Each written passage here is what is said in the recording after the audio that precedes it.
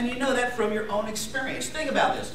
How many know somebody who is extremely talented, but just never quite seems to get the results they hope for? Bill Spiegel. now, we weren't asking for names. How many know, how many know somebody who is extremely successful that doesn't have to seem to have any talent whatsoever? They're all over the place as well. So talent. Talent is an essential part of developing, but it takes a lot more than talent.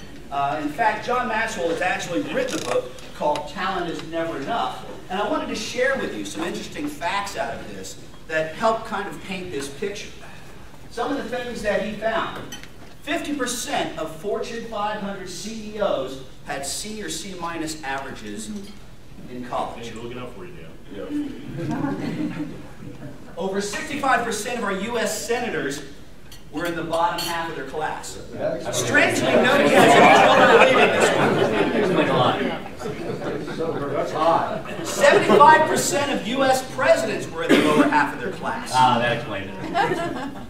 And They went to class. over 50% of millionaire entrepreneurs never finished college. That's the only encouraging stat. Yeah. So when we see that, we see that it takes a lot more than talent in order to accomplish things. It takes other skills as well.